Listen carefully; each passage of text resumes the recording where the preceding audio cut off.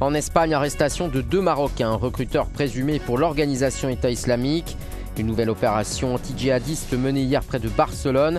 Selon le ministère de l'Intérieur, ils étaient responsables d'une cellule basée en Espagne destinée à la propagande de Daesh. Une centaine d'Espagnols auraient rejoint les rangs de l'organisation.